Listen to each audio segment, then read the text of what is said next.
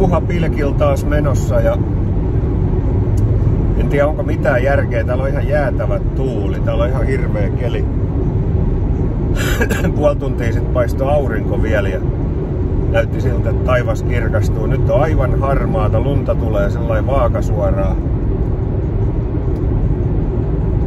Ja hirveä tuuli. Mutta eikö se niin olekin, että ne pahimmat kelit on niitä parhaita kalakelejä. Tiedä sitten taas koskaan seuraavaksi mahdollista lähteä, niin ajattelin nyt sit lähteä käymään. Saa näkee millainen keli. Mä hiukan kaikuu harjoittelisin säätöi, säätöi kanssa, että pitäisi ehkä löytyä semmoset no, suht nopeasti semmoset hyvät säädöt, ettei tarvi tota, sen kanssa pelailla se enempää, että voidaan ihan vaan niinku keskittyä onkimiseen. Mutta eipä tää niin haudan vakavaa hommaa on niinku. Olisi kiva taas, kun saisi edes jonkun tärpi tai näkis kaiusta, että joku, joku siellä nousee pilkkiin. Saatikka sitten tulisi ylös asti joku ja jopa mitallinen vielä, niin sehän olisi tietysti ihan unelmaa, mutta ei sitä mopolla mahottomia. Tuli tosi huonosti nukuttua viime yö, mä heräilin useampaan otteeseen ja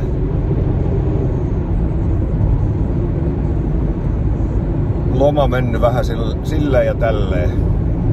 Silloin itse asiassa viimeksi kun mä olin pilkkireissuun, mä tulin sieltä kotiin, niin soitettiin sieltä laatikko pajalta, että olisi mahdollisesti ollut jopa perjantain laatikko valmis, mutta eipä sieltä sitten enää mitään kuulunut. Mä nyt toivoisin, että se olisi maanantain sitten jo kuosis, että rupeaa kyllä niinku, tollain kauniisti sanottu vituttaa kyllä ihan perkeleesti, että tässä on mennyt niinku kuukausi, yli kuukausi auton remontin kanssa. Tota, yli kolme viikkoa mennyt tuolla yhdellä verstaalla niinku laatikon kanssa. Ei oo niinku mitään, mitään järkeä enää hommissa. Mut minkäs teet, eipä se oo meikäläisen käsissä. Lomakin mennyt sitä hyömyä, sit kaisin pohjoiseen päässyt, niin eipä tässä on paljon rentouttavaa lomaa päässyt viettää.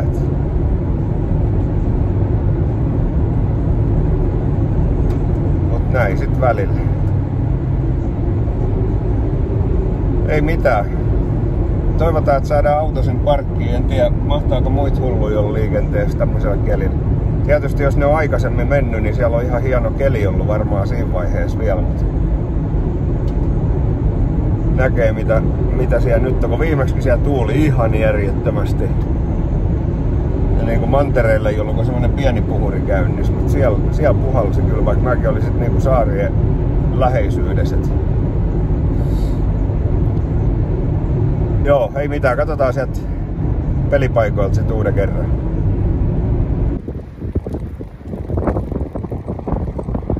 Peli on mukava.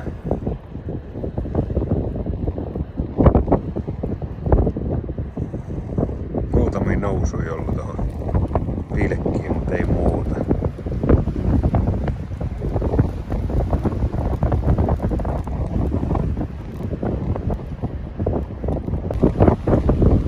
Täällä ei viitti oikein kauheasti kuvailla mitään, kun niin perkelee kauhea tuuli, mutta tota, tässä ei ole vettä niin puolitoista metriä. Löytyy ihan komeita ahvenoita. Siimat napsahti poikki tuossa edellisen kalakan. Sen tiedä mikä sama tien kun rupesin nostaa, niin oikein naps vaan kuului. Siima poikki. Tuolla näkyy kyllä jotain isompaa tavaraa liikenteessä. En tiedä olisiko ollut sit kuha mikä oli, mutta tuo. Ei viitti kohina kameraa pitää laikkaa päällä.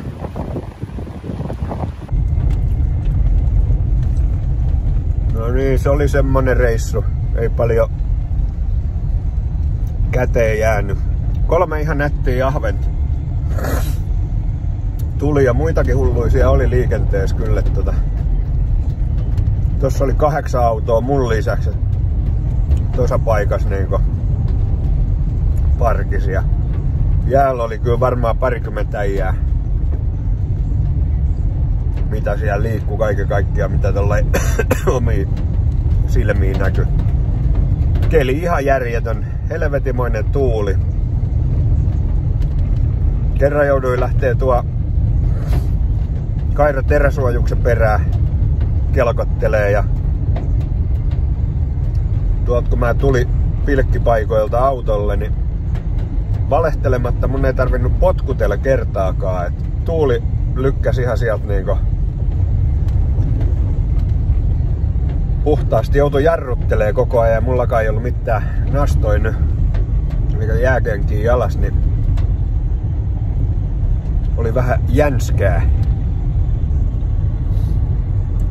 tuuli oli tosiaan niin kova, että siellä ei vittinyt mitään niin ruvet kuvaamaan tuolla ottas olevalla kameralle. Siitä ei olisi tullut mitään, se olisi vaan pelkkää kohinaa ollut. Ja oli pakko niin ankkuroida potkukelkkakin jäähä tuolla kairalla kiinni, että ei olisi lähtenyt kelkka liikenteeseen ja repusta oli pidettävä koko ajan kiinni. Sitten tosiaan kun se, sen, sen teräsuojuksen perässä hetken aikaa menin, niin palasi takaisin sinne pilkkipaikoille, niin tuo oli ihan tekemistä niin ilman jääkenkiä päästä eteenpäin sinne. Oli pakko hakea aina semmosia vähän pehmeämpiä kohtia, että missä oli semmonen pieni jäähinu ja vettä siellä alla, niin siinä pysyi vain vähän aikaa paikallaan, mutta muuten oli kyllä ihan järjetön. Tosiaan kolme nättiä jahvent. Mä löysin semmosen muuten reilu kolme metrin vedestä semmosen puolitoista metrin patin ja siitä tuli heti, heti sillä suht taajaa ne ahvenet ja vai tuliko siitä ensin kaksi ja sitten katkes ne siimat. Ja sitten tuli vielä yksi iso, ihan semmosia oikein pannukarkeita nättejä ahvenia. Mutta en tiedä, mä veikkaan, että se oli kyllä kuha, mikä siellä se siimakatko, tai sitten hauki, toinen vaihtoehto. Se niin kun mä vast, pienen vastaisku tein, niin tuntui vaan semmonen paine käsi ja naps vaan kuulu, niin lähti siimat eri teille ja siimat on niinku uudet vielä, että ei, ei ole huonot siimakkaa lainkaan. Täytyy nyt vähän, vähän modail noit vehkeitä vielä, jos, jos vielä edes kerran pääsis tänne olisi kova sana. Tuo rupes kyllä niinku koukuttaa tuo homma, että ihan mielenkiintoista touhua, mutta nyt ei ollut kyllä niinku tuo keli mikään, siellä ei mitenkään nauttinut siitä olosta. Oli niin, niin kauhea tuo tuuli. Mutta tämmöstä tällä kertaa.